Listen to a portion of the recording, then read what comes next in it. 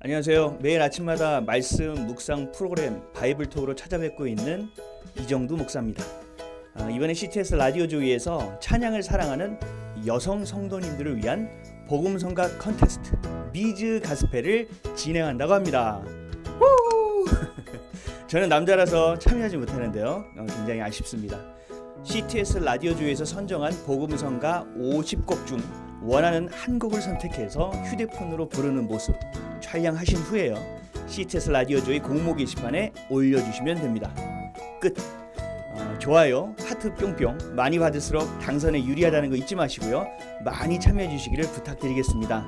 아, 하나님이 기뻐하시는 찬양 널리 널리 아름답게 선포하는 시간 되시길 바랍니다. 할렐루야.